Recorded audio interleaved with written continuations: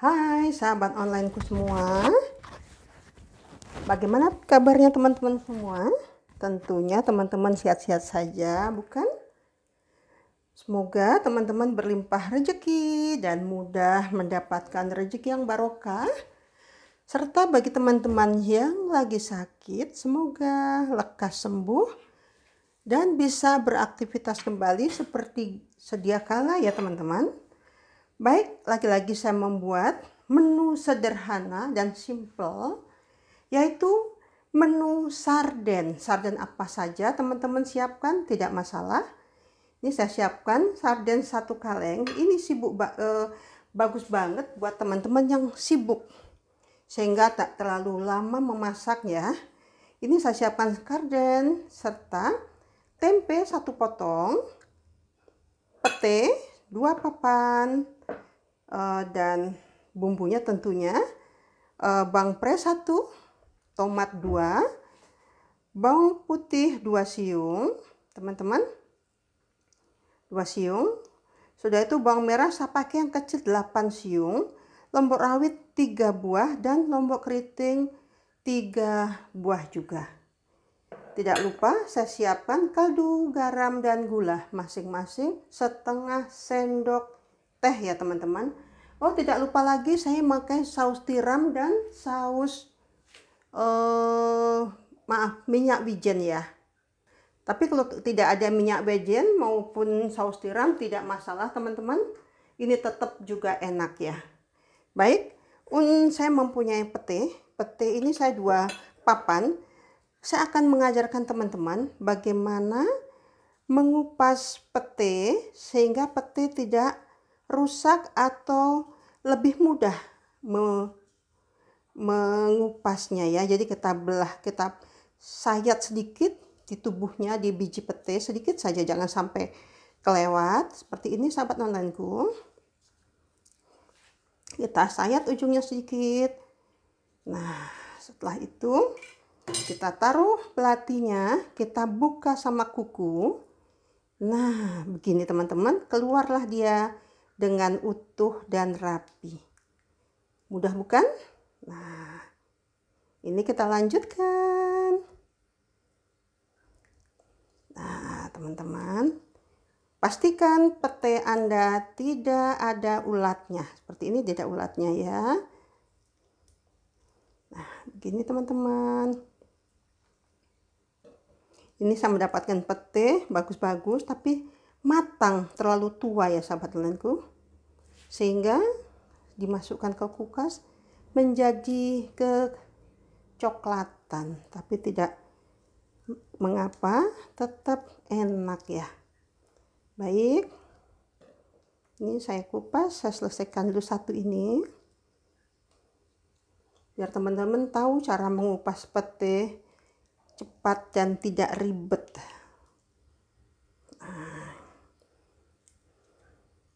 tetap utuh kan sahabat onlineku petenya hmm.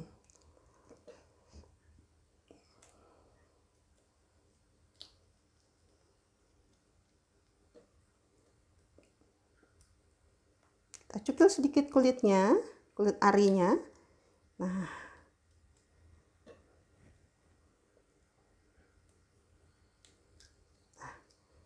Jadilah pete kita sudah terkupas semua. Nah ini masih ada kulit arinya sedikit kita buang. Seperti ini teman-teman, mudah bukan? Bisa dicoba ya. Oke, selanjutnya ini saya sisihkan. Ini juga saya sisihkan semua. Selanjutnya tempe kita potong-potong ya teman-teman ya. Kita potong seperti ini saja ya teman. Nah, kita potong.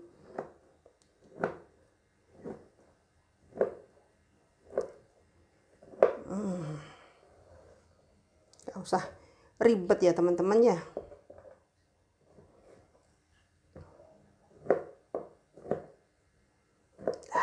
Kita sisihkan. Selanjutnya kita rajang bawang pre tidak usah terlalu kecil.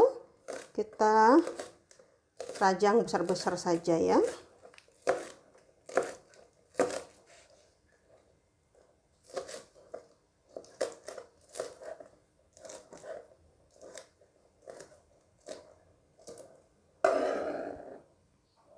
tomat kita potong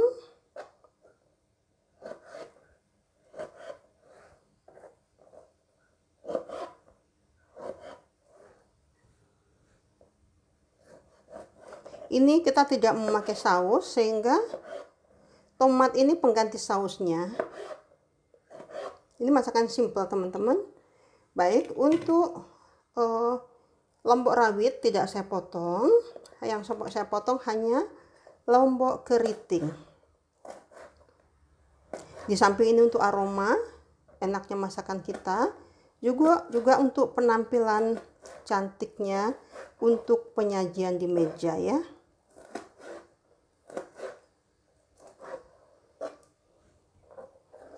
Baik teman-teman kita sisihkan terlebih dahulu. Bawang putih kita gebrak ya sahabat onlineku. Kita gebrak. Tujuannya kita gebrak apa teman-teman? Biar dia menyebar di masakan kita semua ya karena e, lebih kecil-kecil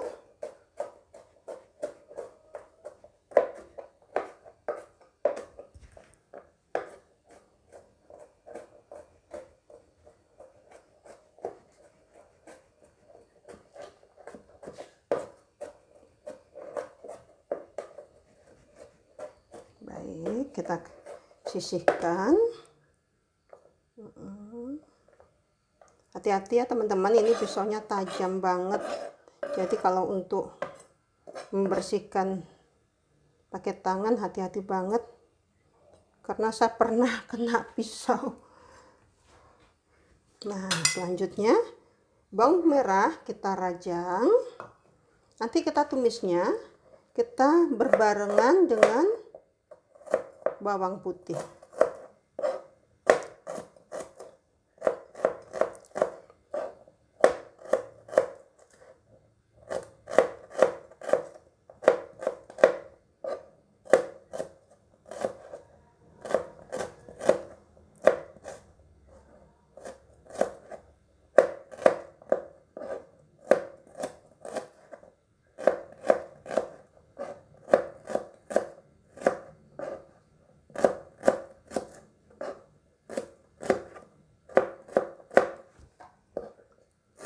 selesai kita merajangnya.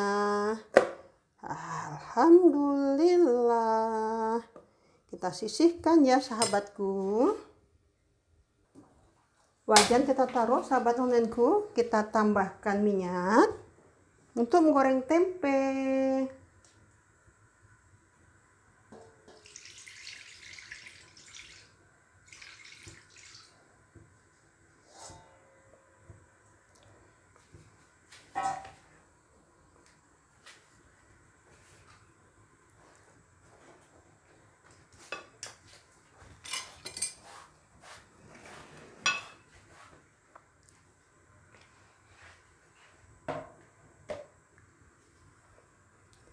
teman-teman.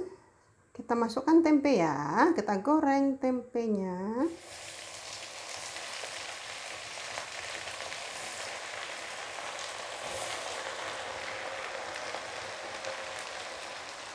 Kita goreng hingga kuning keemasan.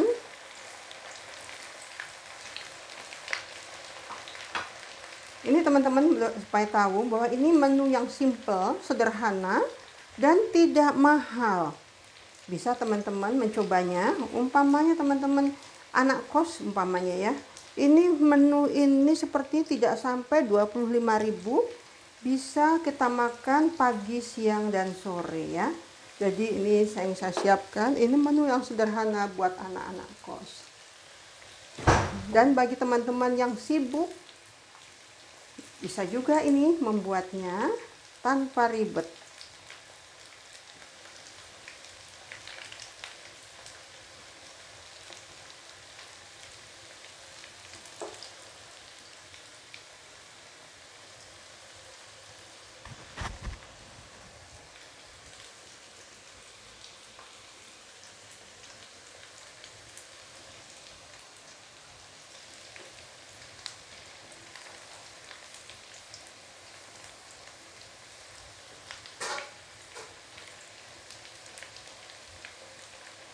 hampir kuning keemasan cepat sekali teman-teman.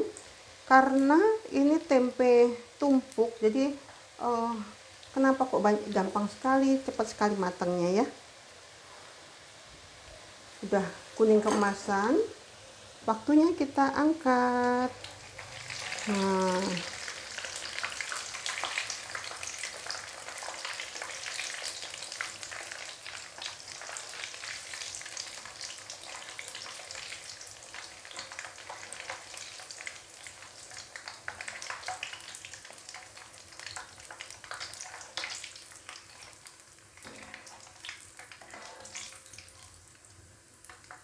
kita matikan kompor teman-teman.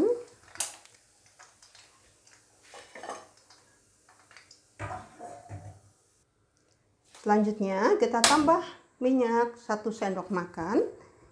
Kita goreng bawang putih bawang merah hingga wangi.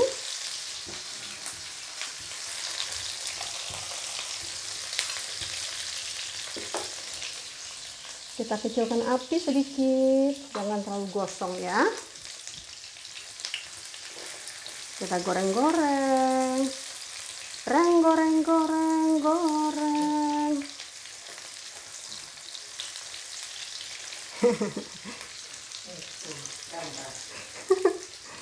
iya ya kita nggak usah stres masak ya. Kalau stres kita cepet tua ternyata ya. Emang udah tua jadi tambah tua ya. Oke sudah agak wangi. Kita masukkan petai. Ya. Setelah petai kita masukkan lombok rawit dan lombok keriting. Lanjut. Kita gosok-gosok dulu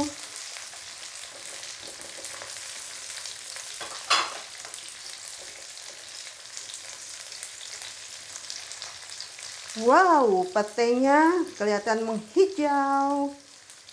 Menghijau dan tentunya menambah selera makan. Selanjutnya saya masukkan garam, gula, dan kaldu.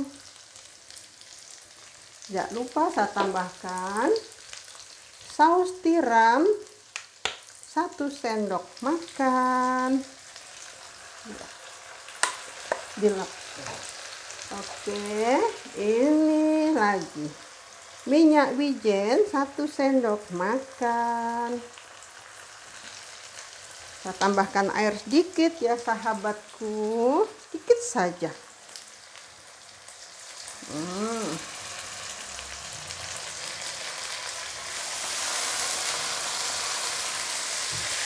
Selanjutnya kita masukkan sarden. Wow ikannya besar-besar sekali. Kita belah menjadi dua ya. Nah.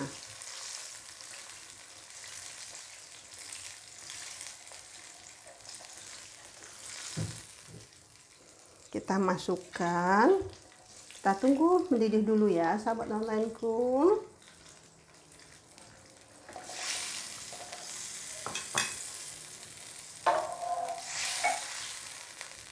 kita besarkan api.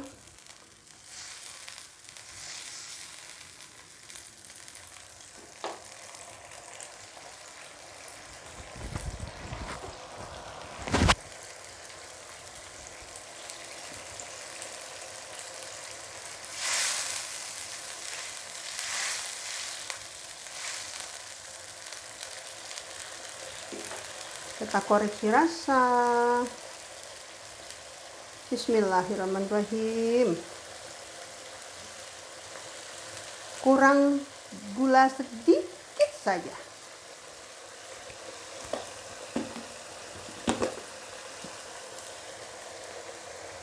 Satu dua tiga. Nah masukkan ya biar kita santai. Santai ibu-ibu. Selanjutnya kita masukkan tomat yang merona. Seperti wajah ibu-ibu yang menonton video ini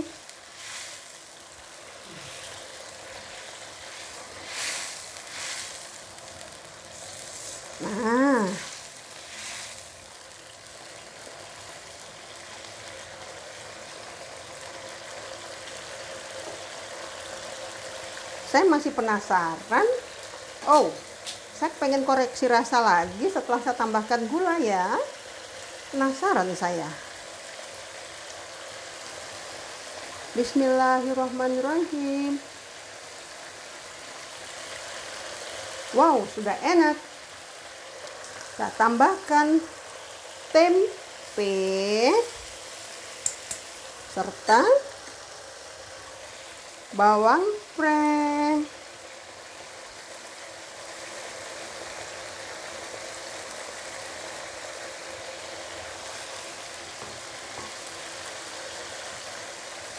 Oh, wow. Pastinya ini enak banget ya. Baik teman-teman dan sahabat onlineku semua. Jangan lupa subscribe, bantu membunyikan loncengnya, share, serta like. Kita tunggu komennya ya. Sekali lagi, jangan lupa subscribe, bunyikan loncengnya, share, serta like, dan komen. Terima kasih sahabatku semua. Kita matikan kompornya.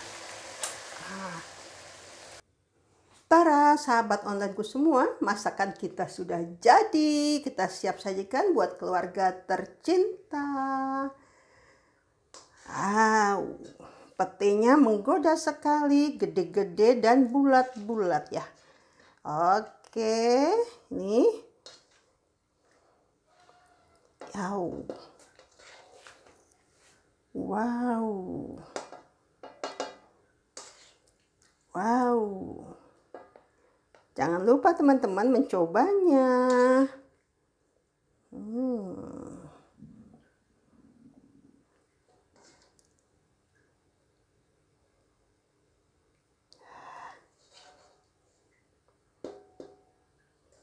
Petenya menggoda bukan? Iya. Pasti jawabannya iya ya teman-teman ya. Tapi bagi teman-teman yang tidak, suka pete, ya tidak tahulah. Tara teman-teman.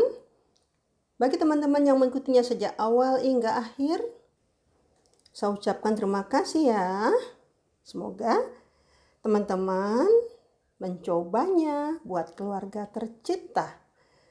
Ini masakan yang simple sekali, cocok buat teman-teman yang sibuk, terutama teman-teman yang anak kos ya tentunya. Simple dengan biaya tidak sampai 20 ribu, 25 ribu rupiah lah. Kita bisa makan pagi, siang, dan sore, bahkan siang hari kita bisa membawanya dari rumah bekal untuk ke kantor. Ya, baik saya akhiri.